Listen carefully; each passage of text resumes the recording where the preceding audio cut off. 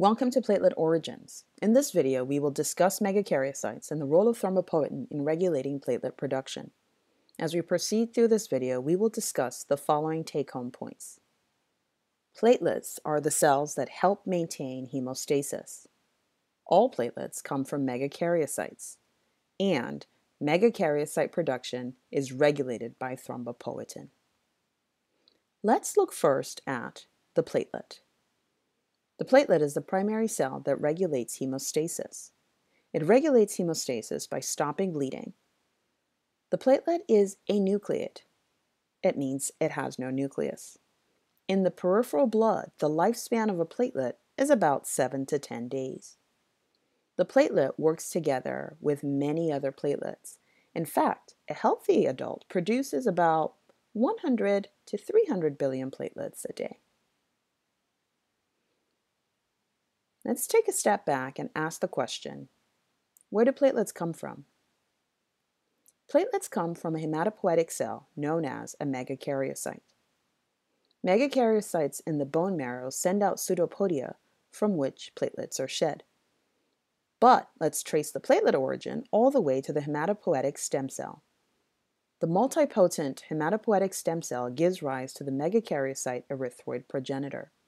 As its name implies, the megakaryocyte erythroid progenitor gives rise to either an erythrocyte or megakaryocyte.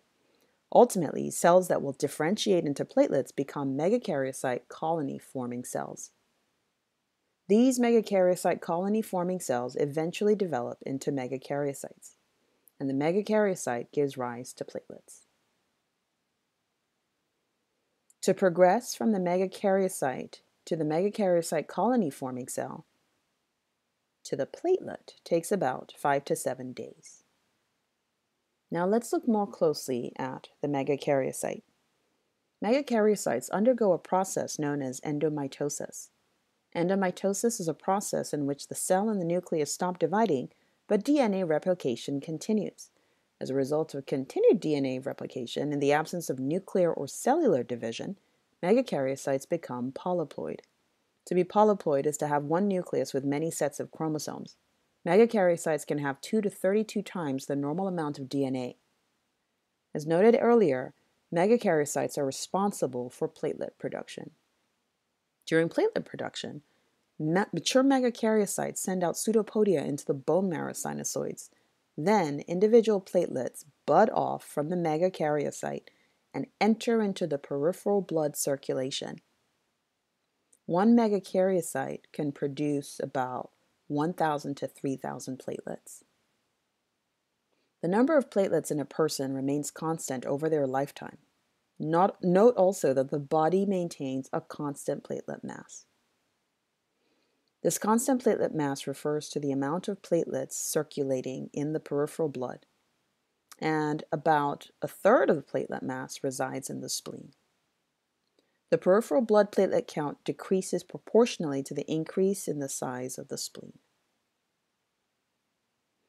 Now, let's discuss platelet production regulation by thrombopoietin. The primary hormone responsible for platelet production is thrombopoietin. Let's represent this hormone with the letter T. Thrombopoietin has a major effect on all steps of megakaryocyte differentiation and maturation.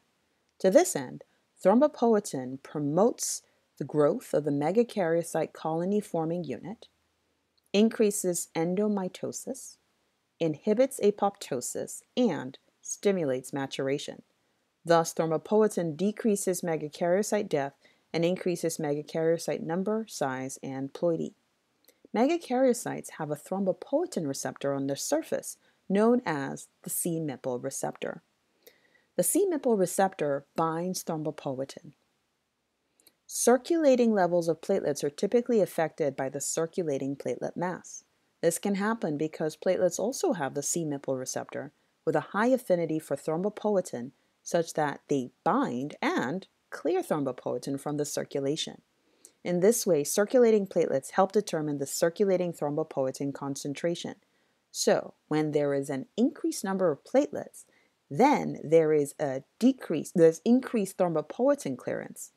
And this leads to decreased thrombopoietin levels. As a result, the bone marrow responds with decreased megakaryocyte growth.